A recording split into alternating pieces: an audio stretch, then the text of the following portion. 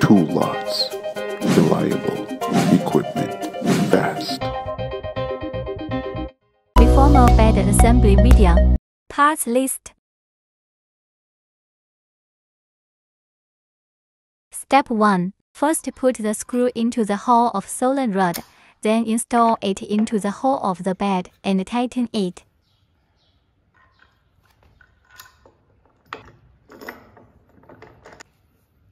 Step 2. There are two ways to adjust the hole and the shoulder cushion. One way, two way.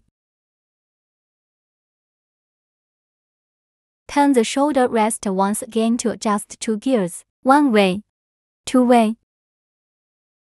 Then fix the screws. You can pick up the skateboard and install it, or squat down, bend over, and tighten the screws by feel.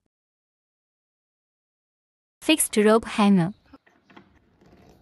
Step 3.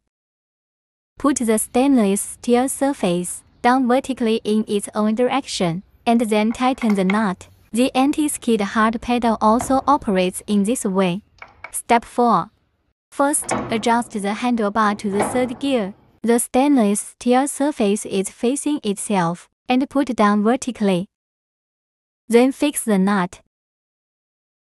Note that the jump board must be supported by a handlebar. Step 5. One way. Two way.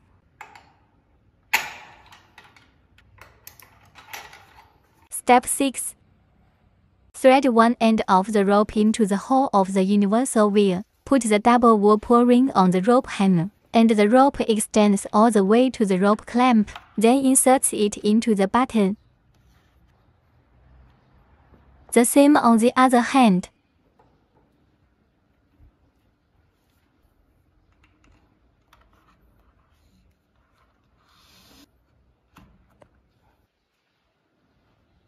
Let's tie a beautiful knot for the rope if you need it.